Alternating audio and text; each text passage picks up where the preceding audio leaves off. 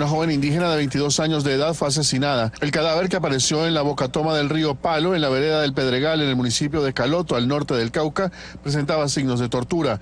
Cable Noticias conoció que la mujer se encontraba con su hermana menor de edad, quien aparentemente habría sido secuestrada. La joven asesinada es una comunera del resguardo indígena de Huellas, en Caloto, residente en la vereda donde fue localizado su cuerpo sin vida. La comunidad indígena realiza una intensa búsqueda en la zona de Calero para dar con el paradero de la menor de edad y también detener a los asesinos de la joven. Los cabildos indígenas podrían emitir un comunicado en las próximas horas sobre la situación de seguridad en la zona norte del departamento del Cauca. Mauricio Cabal, Cable Noticias.